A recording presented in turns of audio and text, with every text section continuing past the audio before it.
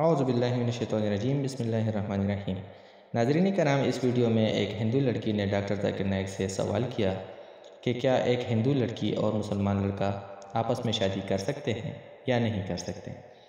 इस पर डॉक्टर जाकिर नायक ने सबसे पहले अपने जवाब का शुरुआत एक मिसाल से किया कि आप एक गाड़ी ले और उसका एक पहिया साइकिल का लगा दे और दूसरा पहिया ट्रैक्टर का तो क्या वो गाड़ी चल सकेगी?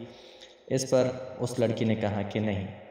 तो फिर आ डॉक्टर जाकिर नाइक ने कुरान से रेफरेंस दिया कि कुरान में सुर बकरा में अल्लाह ताला फरमाते हैं कि अगर आप मशरक लड़की से शादी करना चाहते हैं तो आप नहीं कर सकते जब तक कोई ईमान ना लाए।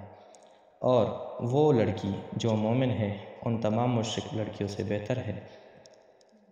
चाहे वो मुसलमान लड़की कितनी ही बदसूरत हो।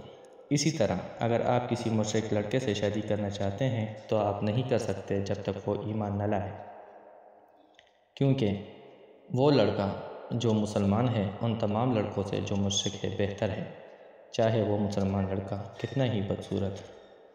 फिर डॉक्टर जाकर ने कहा, क्योंकि मुसलमान के लिए सबसे बड़ा गुनाह जो है, वो शिरक है।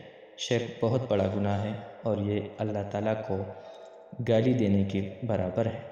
तो लिहाजा हिंदू हिंदू लड़की और मुसलमान लड़का आपस में शादी नहीं कर सकते जब तक वो ईमान ना लाए। इस पर सारे हाल ने तालियाँ बजाई और लड़की मतमिन हो गई। इसी तरह की और इस्लामी और इन्फॉर्मेटिव वीडियो देखने के लिए हमारे चैनल को सब्सक्राइब करें और अगर वीडियो अच्छी लगे तो आगे शेयर करें। शुक्रिया जजाकल्ला